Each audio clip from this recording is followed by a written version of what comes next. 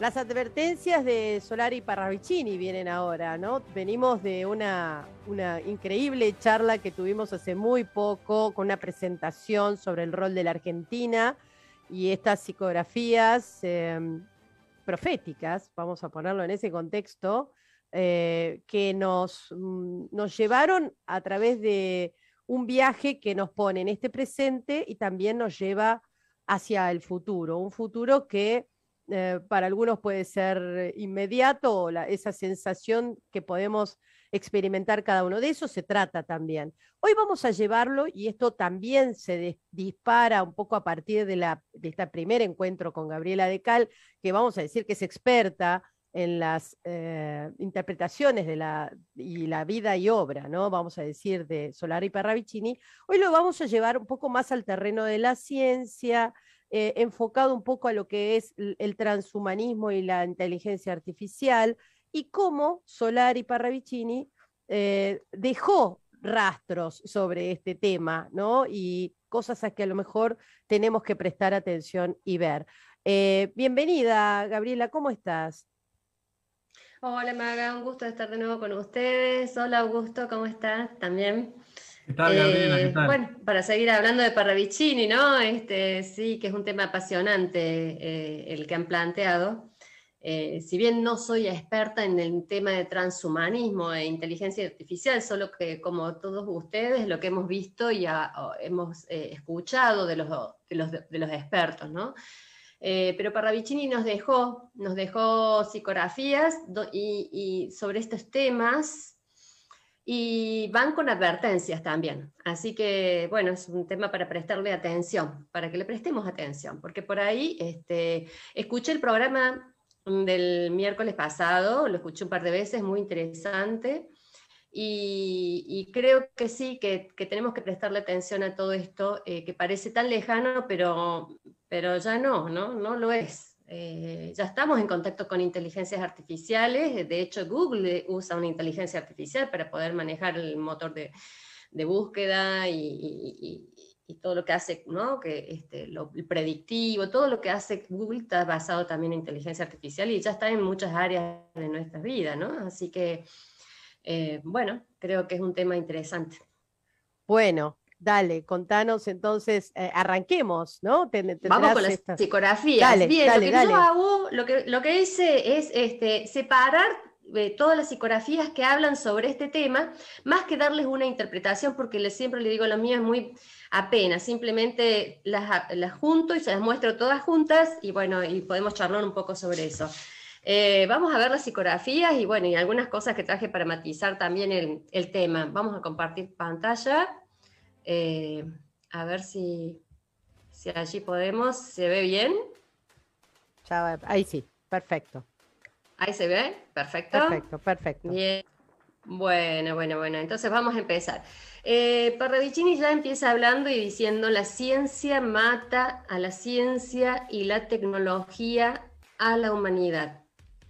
Es decir, eh, ella de antemano eh, nos está advirtiendo en de la tecnología, eh, de los avances tecnológicos, que como todo avance tecnológico puede ser usado para el bien y puede ser usado para el mal. Eh, no es en sí mismo bueno o malo, ¿no? Esto es con, cualquier cosa, con cualquier avance tecnológico. Y estas psicografías que vamos a ver hoy específicamente, si los que vieron el programa pasado, donde hablamos este, eh, de la Argentina y el rol de Argentina, yo les conté en una parte que hay un libro que está dedicado exclusivamente a la gente para después del 2000, a la generación que iba a vivir después, pasado el año 2000. Todas estas psicografías son de ese grupo, de ese, de ese libro, ah. donde son mm, mensajes para la gente de estas, de estas generaciones, de las que pasadas el 2000, ¿no? no están hablando de claro, no están hablando del siglo pasado, están hablando de este, de este que viene, ¿no? Del, que estamos ahora, digamos, pasado el 2000. O sea que es un mensaje para nosotros y para las generaciones que vienen. Eh, eso como para ubicarnos, ¿no? Porque es muy importante saber eso. Entonces él dice que la tecnología mata a la humanidad. Y bueno, vamos a ver que también dice otras cosas, ¿no? Muy importante.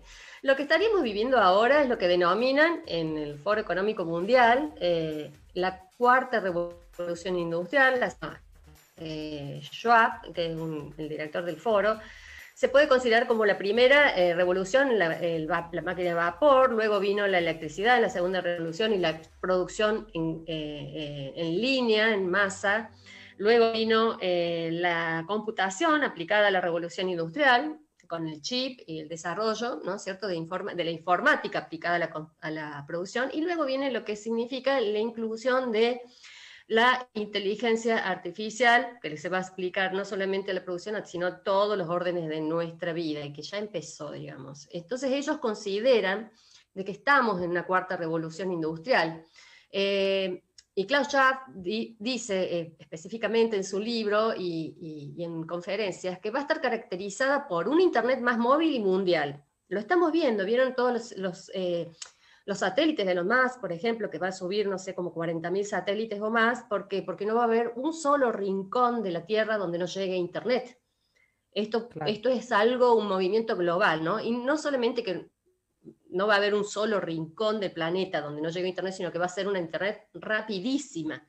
La 5G ya es obsoleta, les digo, o sea, ya están hablando y planificando la 6G y la 7G, o sea que esto, esto va para, más. Em, por sensores más pequeños y potentes, por inteligencia artificial y por aprendizaje automático. Eh, dice que en esta cuarta revolución industrial se van a integrar los sistemas físicos, digitales y biológicos todos estos sistemas se van a estar integrados con la biología, este es el tema. Por eso es que después dice Franz Schwab, también dice que la cuarta revolución industrial no cambia la forma en la que hacemos las cosas como fueron las otras tres, sino que nos va a cambiar a nosotros con estas nuevas tecnologías. Así que son temas para tener en cuenta. Esto es lo que ellos dicen, la Internet de las cosas, que significa que todo, absolutamente todo va a estar conectado, desde la heladera, balanza, la barredora, la licuadora, el auto, la televisión, el celular, todo, absolutamente todo, por eso le llaman la Internet de las cosas, pero no solamente la Internet de las cosas, sino que también va a ser la Internet de los cuerpos. Eh, ¿Por qué? Porque, bueno, vamos a tener recursos externos, que como por ejemplo, en este caso el ejemplo es el del reloj inteligente, ¿no? que todo el mundo ya lo está usando, donde te marca eh, eh, cuánto caminaste en el día, cómo tuviste tus sueños, cómo dormiste, sino que también hay otros que se incorporan adentro de nuestros cuerpos, como las píldoras electrónicas, donde eh, ya existe esto, ¿no? O sea, es una tecnología que no la han producido en masa porque todavía mm, no se justifica ese costo y ese gasto, pero en pero la tecnología ya está. O sea, uno ingiere una píldora electrónica y de allí salen este, los datos que ellos quieren recabar. Y por último también está la integración del cerebro a, todos estos sistemas, ¿no? Eh, como lo que está haciendo eh, Elon Musk con su empresa. Y así advierte Parravicini en algunas de estas psicografías que estamos viendo que dice, la automatización entusiasta del ser humano por la máquina inteligente que crece en poderes, le llevará a la inutilidad. Y fíjense cómo está el ser humano así como totalmente inutilizado, ¿no? O sea, ya advirtió de que la tecnología mata al, humano y que la tecnología lo va a llevar a la inutilidad por la automatización de todo, absolutamente todo. Y yo para mí te voy a decir que es muy exagerado y como ingeniera en sistemas te lo digo, que cuando eh, informatizábamos, eh, yo decía, dejen algo para el control humano. Hay que dejar algo. Eh, de pronto, eso de que vos abrís la heladera y que la heladera dice qué es lo que tenés que comprar y que directamente se comunica con el supermercado. para mí, y te lo digo como, te lo digo como ingeniera del sistema, o sea, para mí también es tremendo, o sea, no me parece bueno, bueno, qué sé yo, a lo mejor pertenecería a otra generación, no sé, bueno, más allá de eso, este, eh, la automatización entusiasta de, de, todo va a llevar al hombre a la inutilidad, ya lo advertía Parravicini, y el transhumanismo viene, viene a, ser parte de todo esto, de su movimiento, dice, cultural y intelectual, que tiene como objetivo transformar al humano, y escuchen, mediante el desarrollo de tecnología que mejoren las capacidades humanas, tanto a nivel físico como psicológico e intelectual. Siempre nos van a vender todo esto como una mejora ¿no? al ser humano. Eh, de hecho, eh, eh, en un futuro, es muy probable, muy, pero muy probable que la gente prefiera sacarse las piernas y ponerse estas, unas piernas eh, eh, mejoradas. O sea, es muy probable que eso suceda. Asusta eso que decís, ¿eh? Ya lo estamos viendo. Sí, asusta, asusta, pero ya lo estamos viendo. O sea, hoy en día hay gente que se saca toda la dentadura para ponerse una mejor o no. Eso es verdad. Ya lo estamos viendo. Ya lo estamos viendo, o sea, ya estamos viendo la tecnología que mejora partes de nuestros cuerpos y la gente directamente, sin tener problemas dentales, decide sacarse los dientes y ponerse unos mejores y listo, son más fuertes, más resistentes, más blancos, más lo que sea, pero bueno, eh, eh, ya estamos aceptando que hay cosas en la tecnología que mejor, nos mejoran y, y transamos, ¿no? Y bueno, eh, así como hacemos con los dientes, también podemos, pueden suceder con otras partes de nuestros cuerpos. Eh, y siempre va a, ser, vendido esto como una mejora, como una mejora, como si lo biológico pueda ser algo obsoleto, ¿no? De hecho, eh, los que están en este tema, cuando los escucho hablar, dicen que va a ser tanta la integración entre máquina y la biología, eh, la tecnología, que no vamos a poder distinguir dónde termina uno y comienza la otra. Em, yo veo en todos estos avances, entre comillas, ¿no? como, una, como mm, dos, eh, mm, dos, aspectos, ¿no? como si quisieran controlar la inmortalidad, tratar de que el ser humano sea inmortal, eh, ya sea con trasplantes de, de cerebros o de lo que sea, para llevar un cuerpo físico que sea inmortal. Y la otra que mm, también me preocupa mucho es como si el hombre quisiera irrumpir en, la, en el desarrollo del ser humano, o sea, de, eh, no me sale ahora la palabra, este, la evolución de, los, del ser humano. Los ritmos, de, los ritmos naturales del ser humano, ¿no? Porque los ritmos naturales y, biológicos de la evolución. Es como si el hombre quisiera irrumpir en eso y modificar, cambiar la evolución por algo supuestamente mejor, como es lo que van a vender el, transhumanismo, ¿no? Perdón. y acá esta es una, para mí, la mejor. Sí. ¿Cómo? También se habla, que vos recién hablabas del reemplazo de algunas de algunos miembros de, de tu cuerpo para colocar algo robótico. Se habla también del reemplazo de de uno de los dos ojos, por ejemplo, para colocar un ojo biónico. Yo he visto algunas imágenes que me quedé estupefacto, ¿no? Pero bueno, esto es lo que están tratando de desarrollar.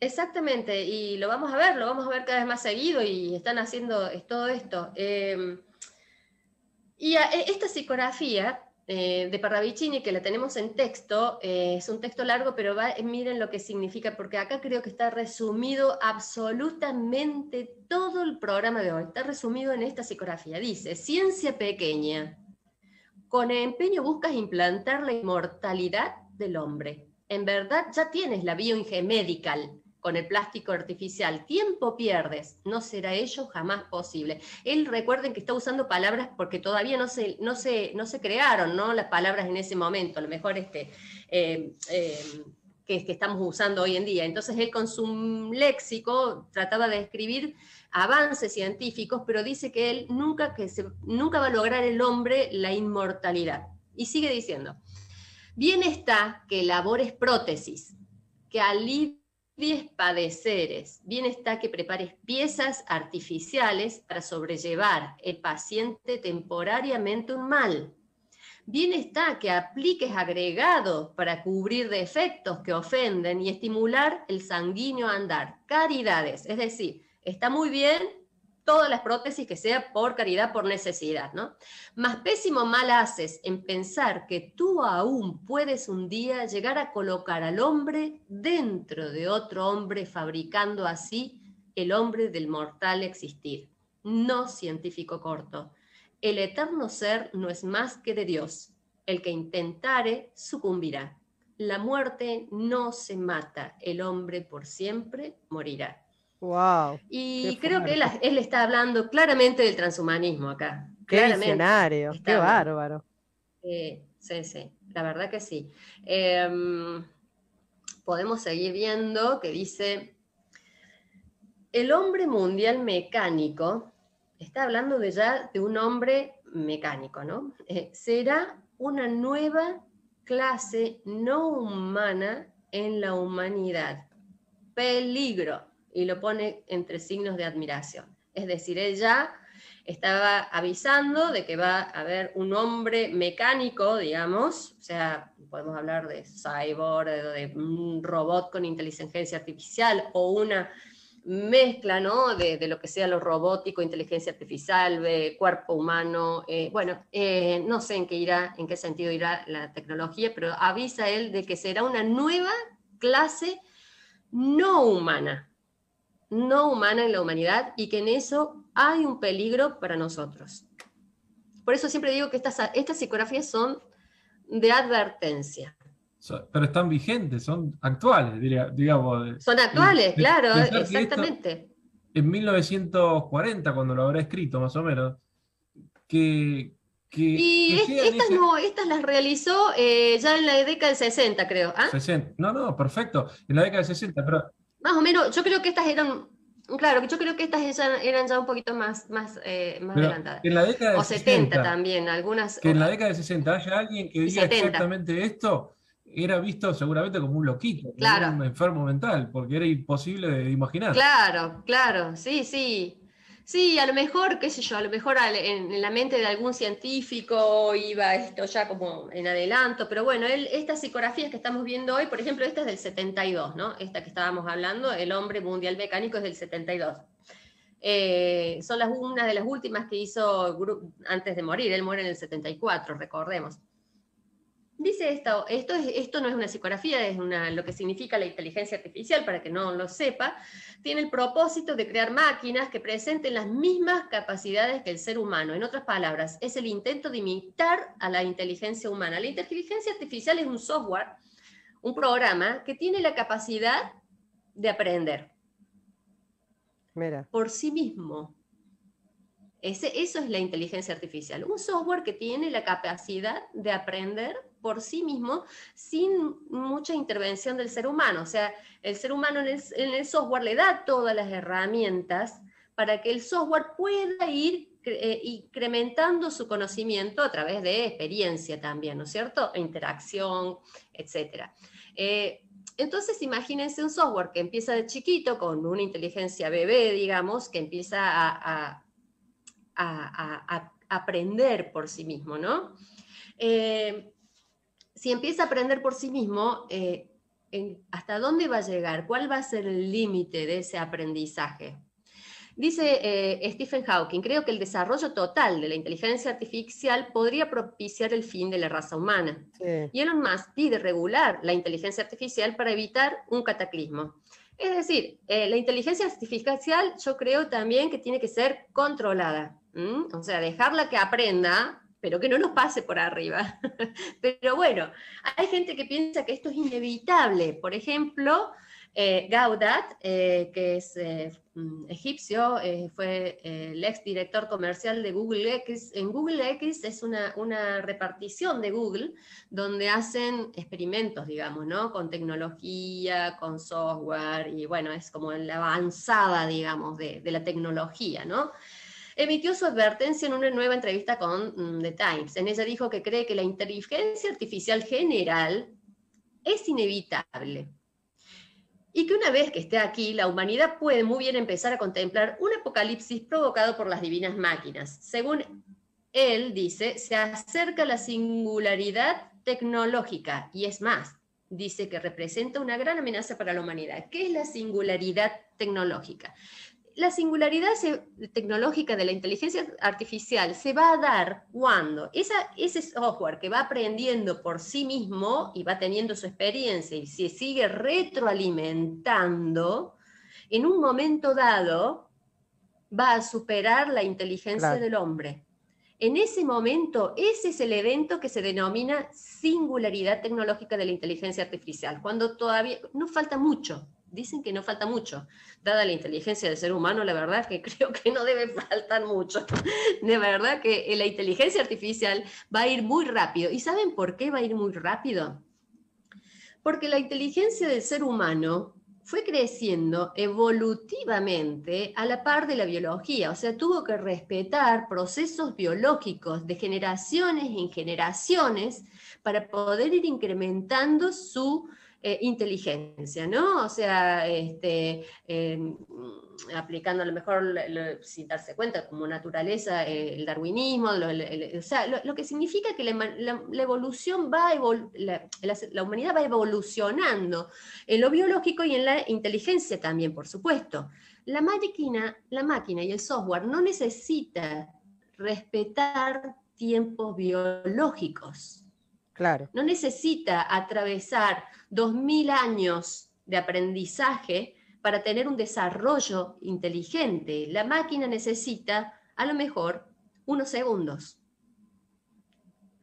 Imagínense eso. En el momento que nos sobrepase esa inteligencia, no va a necesitar 100.000 años para tener una gran inteligencia. Simplemente va a ser un movimiento recursivo sobre sí misma y va a evolucionar todos esos 100.000 años a lo mejor en unos segundos. Esa inteligencia es la que está visualizando Gaudat ¿no? y Elon Musk y otra gente. Que se nos, ahí sí, sí que se nos escaparía de las manos, porque, a ver, quedaríamos nosotros como la inteligencia de una hormiga frente a una cosa impresionante, que no podemos ni siquiera entender las consecuencias de eso, ¿no? Solari Parravicini, perdón, sí, eso justo te iba a preguntar si él dio, mostró la salida a eso, ¿no? Un poco, o... Sí, ah. hay, una, hay una salida, eh, pero bueno, ya la vamos a ver al final. la vamos a ver al final cuál es la salida de todo esto. Em, él dice así, dice, la máquina pensante llegará a la sensibilidad del sentimiento. Uh. Imaginen eso, imaginen eso. La inteligencia artificial va a ser muy inteligente, la verdad, y bueno, va a llegar a la sensibilidad del sentimiento, lo pone entre eh, signos de admiración. La inteligencia mecánica, dice Parravicini, llegará a dirigir al hombre cómodo hasta desacomodarlo, le internará. Así que bueno, son todas advertencias, todas, todas advertencias.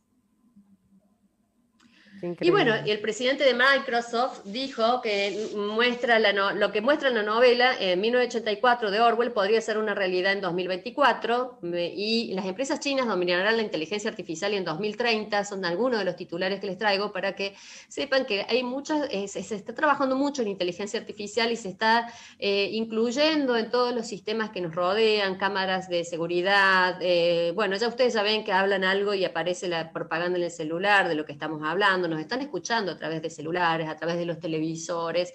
Em, eh, bueno, el tema está eh, que vamos mm, probablemente eh, en la mano del ser humano se utilice más para mm, coartar este, libertades que para ayudarnos, ¿no? Y por eso es que el presidente de Microsoft ya ve un mundo orwelliano, ¿no? En un futuro. Parravicini dice, la capacidad inteligente la capacidad inteligente de la máquina pensante dominará al mundo. Está hablando de inteligencia artificial. Eh, la máquina pensante, la capacidad inteligente de la máquina pensante dominará al mundo. Se está hablando de inteligencia artificial. Será raza mundial. Es curioso porque hemos visto cientos de películas de esto, ¿no? Que los robots se sublevan y que dominan al mundo, eh, digamos, algo que, que, era una ficción hoy la estamos viendo convertirse en realidad. Por eso también la transformación del trabajo, ¿no? Cuántas máquinas van a, van a eh, digamos, hacer desaparecer muchas eh, profesiones incluso, ¿no? Hasta la medicina. Ya pasó, ya pasó. Sí. Ya pasó en todas las revoluciones industriales, pasó eso, en todas las revoluciones, la primera, la segunda, la tercera y obviamente va a pasar también en la cuarta. Muchas veces los trabajos también se, se, se mm, em, cambian, digamos, este, por ejemplo, bueno, existirá gente que hace desarrollo de software, gente que hace, fabrica esto, este tipo de, tecnología, eh, se reconvierten muchas veces los trabajos, pero sí, es cierto que en cada revolución industrial cada vez el, hombre ha quedado como más rezagado, ¿no? Y muchas, muchas eh, profesiones terminaron quedando en la nada. Y bueno, acá lo que me, llama la atención es lo que dice Parravicini, que la inteligencia, la máquina inteligente va a ser raza mundial. Ah, nos decían ahí el miércoles, estaban hablando de que el robot Sofía ya tiene la ciudadanía en Arabia Saudita, ¿no es cierto? Tremendo, ¿no? ¿Se acuerdan que decía? Sí, sí, sí, sí, Alejandro. Sí, sí, ya tiene, ya Alejandro, sí, Angélica, sí, decía que, la, claro, yo no me, no, me, había fijado en eso y, sí, sí, Sofía tiene la ciudadanía. No, pero además, um, Gabriela, ¿qué más dice? han, salido noticias en Corea del Sur, seguro, en Japón también, en donde los robots van a tener derechos como los seres humanos. Claro, y, si van a llegar a la sensibilidad de sentimiento y ya le están dando la ciudadanía, bueno, no nos extrañemos de cosas, cosas así, ¿no? Em, ¿Qué dice esta acá? Dice, humanos, la cibernética, forma tecnológica de poder, escuchen lo que dice, es forma tecnológica de poder, vamos a entrar como en un sistema de poder tecnológico, ¿no? Será asesina del hombre en el llegar del llanto. Es decir, vamos a tener problemas. Y recuerden que la tecnología lo pone él como una forma de poder. Qué bárbaro. ¿Mm? Algo que va a tomar mucho poder, mucho, mucho poder. Como si habláramos de una dictadura tecnológica, ¿no? Sigamos. Ustedes, eh, esta, noticia se las traigo porque a mí me, me impactó muchísimo, porque digo, wow, ya está esto acá. Eh, ¿Me escuchan? Perfecto. Hola, ¿me escuchan? Sí, sí. Ah, bien, bien. Eh, dice, científicos coreanos usan la, usan la red 5G para detectar tus emociones y predecir crímenes. Y ellos están utilizando la red 5G para hacer mapeos de la ciudad, para ver las emociones de cómo están las personas en la ciudad. Es decir, pueden saber, hasta ahora pueden identificar cinco emociones, pero más adelante van a identificar más. El objetivo de esta gente, según el artículo que hay, es que poder identificar las emociones de las personas a través de sus eh, conexiones a Internet, ¿no es cierto? Y, por ejemplo, todo lo venden como bueno, ¿no? Como, por ejemplo, poder advertir en la carretera de que hay un, eh, un conductor colérico manejando muy enfadado y que puede provocar algún accidente.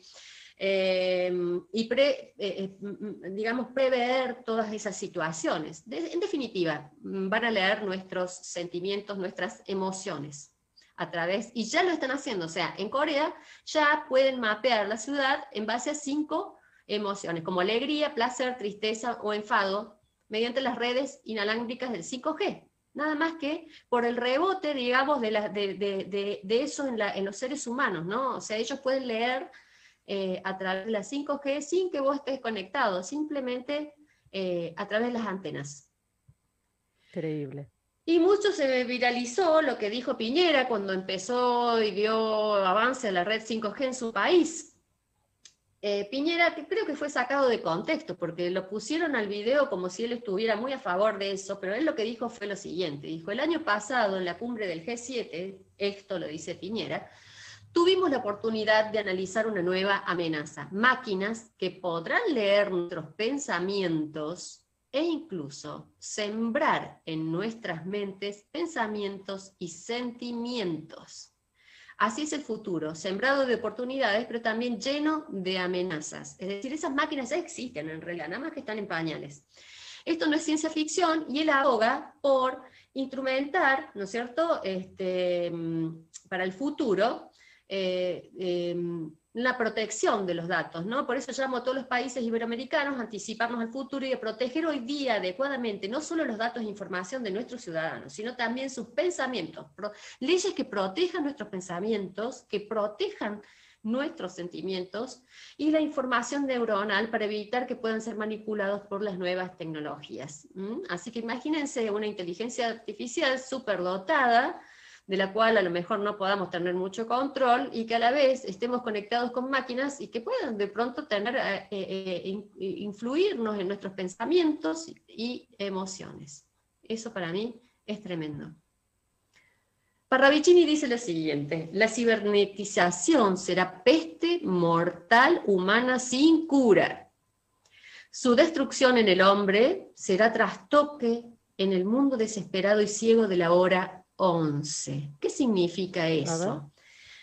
Dice que, bueno, va a ser peste mundial y que no va a haber cura, o sea, nosotros vamos a estar supeditados a ese avance, como que no lo vamos a poder manejar, pero que su destrucción en el hombre será trastoque en el mundo desesperado y ciego de la hora 11. ¿Qué es la hora 11? En el, programa anterior les dije que había una línea de tiempo, que es el tiempo final, y que se producía un caos, hablamos de ese caos, ¿se acuerdan? Que era el caos, las guerras, y luego que iba a haber como un cataclismo, bien. Él después en otras psicografías habla de las tres horas, la hora 10, la hora 11 y la hora 12. La hora 10 es, el, mm, es, un periodo anterior a ese caos, porque el caos se produce en lo que él llama la hora 11, y luego la hora 12 es la de la reconstrucción ya, ¿no? En donde todo ha pasado. Entonces él dice que eh, ese, su destrucción en el hombre será trastoque en el mundo desesperado y ciego de la hora 11, porque la hora 11 es lo mismo que decir la hora del caos, la hora del cataclismo. Es así. Eh, entonces, lo que eh, ya lo vamos a ver más adelante, lo vamos a integrar con estas psicografías que estamos viendo ahora para darles cuál es la salida. Gaby, perdóname que te interrumpa eh, antes que avance. Dime. Cuando Parravicini habla de la hora 10, la hora 11 y la hora 12, eh, ¿lo habla como momento o, a lo mejor digo, viste que se usa mucho en... Periodo. los, no, los militares usan mucho esto de hablar de horas mostrando direcciones. Claro, en este caso Parravicini habla de las horas como para marcar etapas, ni siquiera se refiere a un momento específico. Antes la creyente creía que era 10, 2011 y 2012. No, no, no, no. Okay, Él habla de una etapa, un periodo que es la hora 10. Eh, el periodo de la hora 11 es muy corto porque una guerra con cuando ya se desata todo el lío mundial, y después viene un cataclismo, o sea que es un periodo más bien corto, ¿no? Em, pero se refiere así a, todo eso. Um, Gabriela, siguiendo dice, la civilización se apaga, sí. Perdón, justo nombraste la palabra guerra y justo nombraste la palabra guerra y ahora justamente parecería como que se está tratando de gestar una especie de guerra ahí en Ucrania. En tu opinión, ¿vos la, ves como, ¿vos la ves como posible esa guerra o es la que más o menos infiere que podría ser Parravicini? Eh, yo creo que puede haber alguna escaramuza ahí en, Ucrania, entre Ucrania y Rusia, eh, pero mm, según lo que yo, me puedo equivocar, ¿eh? Esto, según lo que yo interpreto de la psicografía de Parravicini, creo que primero empieza en, el Caribe y se extiende al mundo. Él dice la guerra que comenzará en el Caribe y se extenderá al mundo después. Eh, así que no sé si será esta, no sé si será esta. Eh, igual tenemos que ver todo esto de la inteligencia artificial antes de que se produzca el caos, ¿no? Claro. Tenemos que ver el hombre caer por la inteligencia artificial. Eh, así que bueno, eh, pero no sé si será esta la, general. Cuando veamos mm, que se tiren bombas nucleares, ahí vamos sabemos que se, que, se refiere a este, este problema, ¿no? Al final. De hecho, de hecho Gabriela, para, para, avalar esto que estás diciendo, hay muchísimos astrólogos que ven como una especie de escaramuza esto, que es justamente lo que está pasando, pero que luego se termina apagando. digamos, las partes para mí pasa eso, y, sí. y, se, y se empieza a enfriar un poco, según lo que dicen algunos astrólogos. ¿eh? Exacto, bueno, yo concuerdo con eso desde lo intuitivo nada más, pero para Vicini me parece que en una, en una de las psicografías que veo que dice que empezará en el Caribe y se extenderá al mundo, él usa esa palabra, la que empieza en el Caribe y se extiende luego al mundo. Em, así que bueno, estar atentos, porque a ver, Putin dice, bueno, eh, dijo con Rusia, dice, lo que él está haciendo es ponerse al lado de Ucrania porque están con todo el armamento ahí en la, frontera, y él dice, bueno, pero ¿y qué harían ustedes si yo llevo todo mi armamento, por ejemplo, a, Venezuela y a Cuba? ¿Cómo reaccionarían? Y bueno, a lo mejor eh, esto derive después mm, en, algo así y termine habiendo un problema grave en el Caribe. Así es. para Vicini. Exacto. Él dice, para Chini dice, la civilización se apaga por el empuje de la tecnología y la mediocridad reinante de los pueblos, dos extremos que jamás se hallarán porque no comprendieron la verdad. Eh, en distintos mm, contactos extraterrestres, y sobre todo hubo uno muy importante, el del ingeniero Free, este, en la década del 40, creo que fue 50, en Estados Unidos, le decían a él que mm, si un pueblo crece mucho en tecnología, pero no crece en espiritualidad y en la parte social, esas, esas, esas humanidades colapsan. Y él acá también, para lo está diciendo, está por un lado el auge de la tecnología, pero por otro lado aumenta la mediocridad también. En una sociedad. Y eso son incompatibles, esas dos cosas. Eso eh, termina en la ruina de, una civilización. No puede crecer una civilización solamente en lo tecnológico sin crecer en lo espiritual. No puede, porque eso lleva eh, indefectiblemente a su autodestrucción. Entonces estamos viendo, yo estoy viendo una, una mediocridad creciente ¿no? en la sociedad.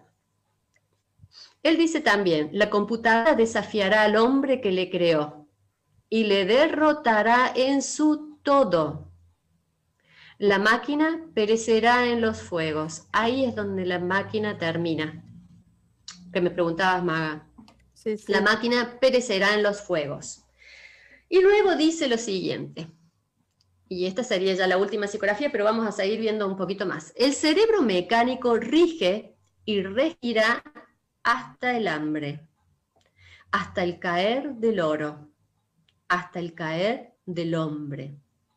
Luego, destrozado será por el hombre en resurrección. Y se ve en el dibujo una máquina, por como la dibujó él en todas las psicografías que estuvimos viendo, así dibuja la máquina con esos círculos así, y vemos un hombrecito que la tiene entre sus manos como quien tiene a alguien para currucarlo o cuidarlo. ¿Qué significa esto? Él dice que el cerebro mecánico, la inteligencia artificial, ¿no? Regirá hasta el, eh, regirá hasta el hambre, hasta el caer, o sea que la inteligencia artificial va a estar en todos los órdenes de la vida y va a perecer en los fuegos, como dijimos recién, la máquina, pero luego el hombre eh, la va a cuidar en resurrección. Y fíjense ese hombrecito que estaba recién, yo les voy a mostrar otras psicografías donde Parravicini dibujó los mismos hombrecitos, ¿los ven? Bueno, lo vimos la otra vez. Sí. Claro, también, también, bueno. Como, como si Miren, este Sí, perdón, perdón. Adelante. Sí, no, no, sí, como si describiese que decías Augusto. En esos dibujos parecería como si describiese un hombre corpulento, pero con poco, poca cabeza, con poco cerebro. Mira, en realidad es así, no, va por otro lado, te cuento. Ah. Él cuando habla del futuro de la humanidad, al futuro, al, futuro hombre de la humanidad, lo dibuja así. Y este es el, hombre que toma en sus manos a la máquina. ¿Por qué? estos son ejemplos de psicografías que hablan sobre el hombre del futuro, el hombre del mañana. No las traje completas para simplemente que se enfoquen en los dibujitos. Fíjense cómo dibuja el hombre del mañana. El hombre post apocalíptico, digamos, ¿no? El hombre que, que resurge de América del Sur que hablábamos en el programa anterior. Él lo dibuja de esta manera. Entonces vamos a poner en la línea de tiempo las últimas tres psicografías. Por un lado, en la etapa anterior al caos, ponemos, pongo yo en esa línea de orden, un, esta es una interpretación mía, ¿no? La cibernetización, se la civilización se apaga por el empuje de la tecnología y la mediocridad reinante de los pueblos. O sea, en toda la etapa anterior al caos, lo que vamos a ver es la caída de la humanidad en todos los aspectos. Mientras sube la tecnología, como lo estamos viendo, vamos a ver una caída de la humanidad en todos los aspectos sociales, espirituales, este, eh, un tocar fondo, digamos, ¿no? de la humanidad. Esto es previo al caos, por eso sucede después el caos. En el caos la computadora muere, la computadora desafiará al hombre que le creó y, se y le derrotará en su todo. La máquina perecerá en los fuegos. Acá, la máquina, la inteligencia, claro, la guerra y el cataclismo. Es decir, toda esa inteligencia artificial que derrota al hombre, que lo, lo domina, digamos, termina y se acaba en ese caos que hablamos eh, en el programa anterior, que era la guerra nuclear más un cataclismo de un asteroide que cae, ¿no? Y, se termina la, parte de la humanidad o la civilización como, como, la conocemos, no la humanidad, se termina esta civilización para dar origen a una nueva. En esa caída también cae la mana, la máquina perecerá en los fuegos. Y luego de esa caída, el hombre nuevo, como lo dibuja él, el post-apocalíptico, eh, la, tiene como en resurrección. ¿Por qué? Porque la humanidad que va a venir después de ese caos es una humanidad que va a crecer muchísimo en lo tecnológico y en lo espiritual también, en lo social también. Entonces, eh, eh, la nueva civilización no va a renegar de la tecnología, la va a usar para el bien.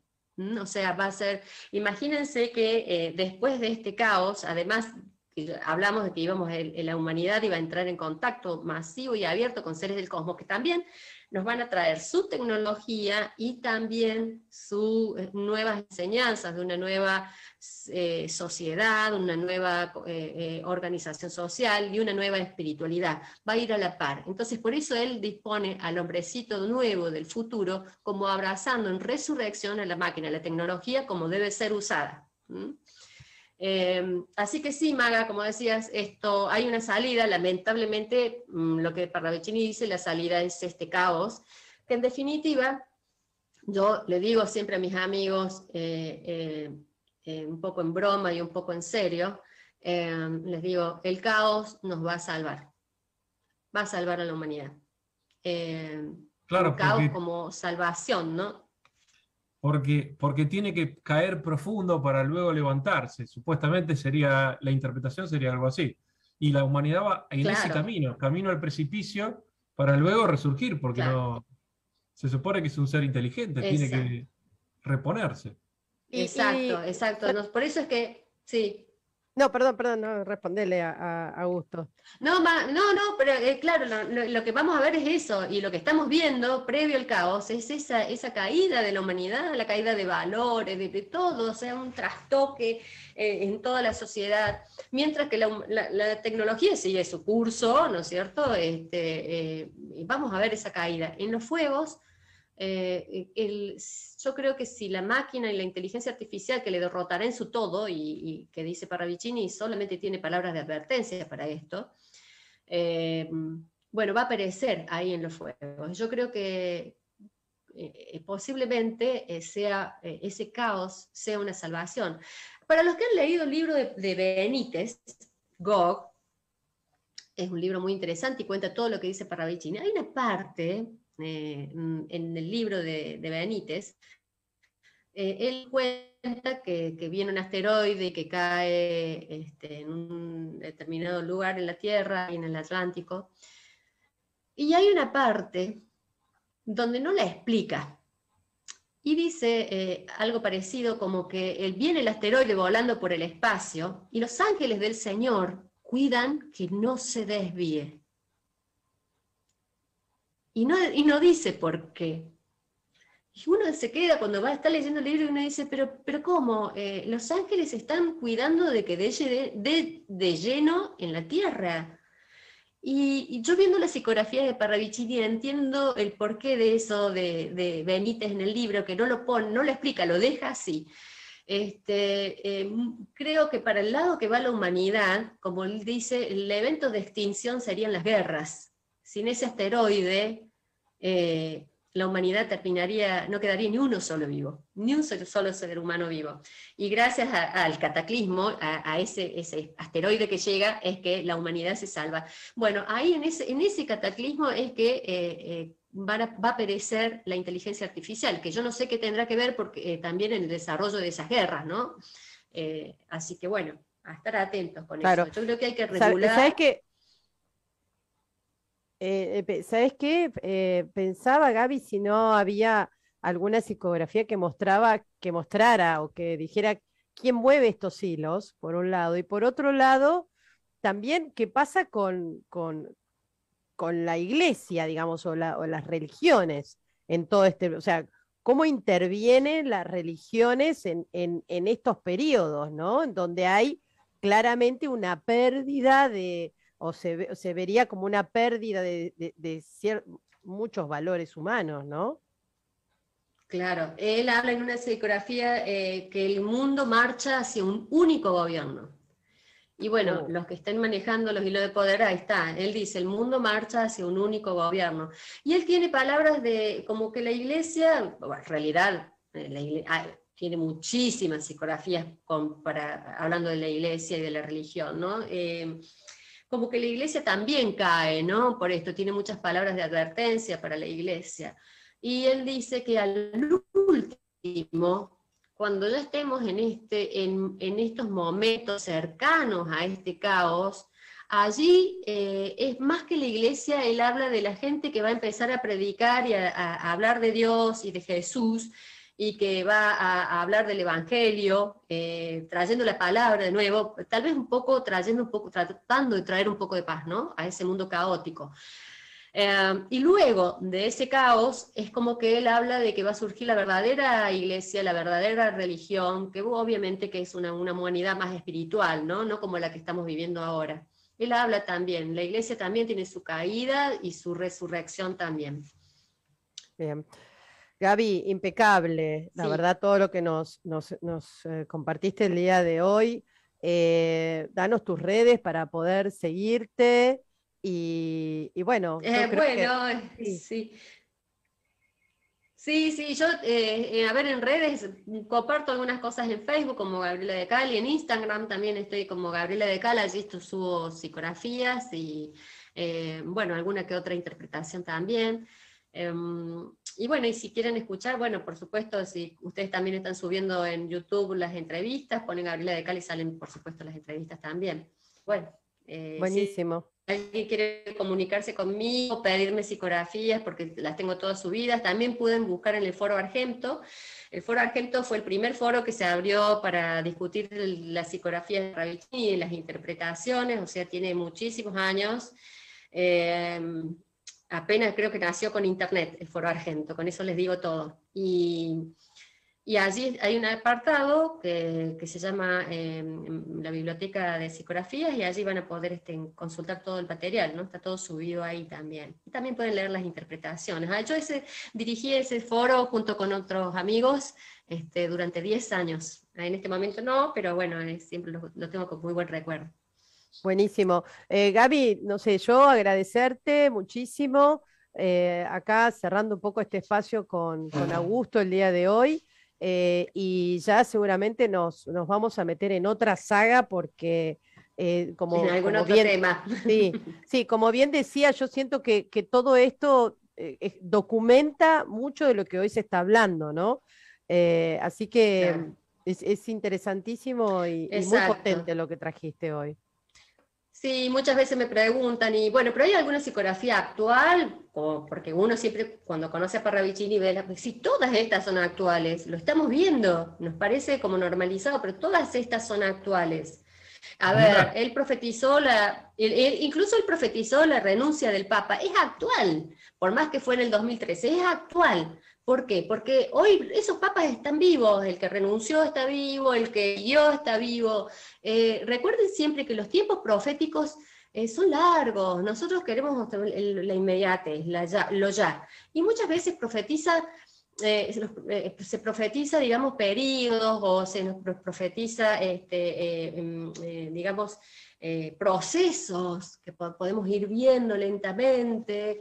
Hay muchas psicografías que tienen cumplidas unas cosas en el pasado, cumpliéndose unas en el presente y en la misma psicografía cosas para el futuro. O sea, tenemos el ayer, el hoy, el futuro en una misma psicografía, por ejemplo. Em, así que creo que mm, tenemos que saber, saber leer un eh, eh, material profético, no solamente de Parravicini, sino de cualquier profeta, ¿no? porque es un lenguaje distinto. Gabriela, te quería hacer dos preguntas cortitas.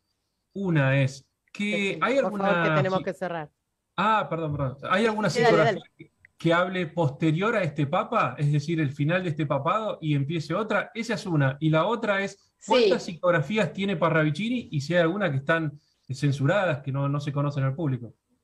Eh, eh, sí, sí, hay psicografías que hablan para después de este Papa, es un tema muy interesante. Y sí, eh, hay más psicografías que no conocemos, que están en manos de amigos o de gente que tiene, que las ha recibido y que todavía no las ha mostrado o las van mostrando de a poco. Así que hay temas que a lo mejor fueron tocados porque dice, ¿por qué no habló Parravicini de tal cosa? Y bueno, a lo mejor no conocemos la psicografía. Eh, y tenemos mm, publicadas hasta ahora, son más de 1.400, son las que conocemos, de las cuales yo les traigo todo el material acá, de esas 1.400. Buenísimo, Gabriela, muchísimas gracias. Tenemos que cerrar ya el programa. Gracias a ustedes. Eh, nos vemos en un próximo encuentro, ya vamos a, organizar. Cuando, quieran. Hacia dónde me encantó, me encantó, me encantó. Sí, sí. Bueno, un abrazo, eh, gracias. Gracias por la invitación. Gracias, a vos. Bueno, cerramos el portal, vamos a los auspicios. Yo acá me despido ya directamente el lunes transmitiendo desde Egipto para, para la Argentina y el mundo. Gracias, eh, gracias Augusto también. Chao. Hasta luego.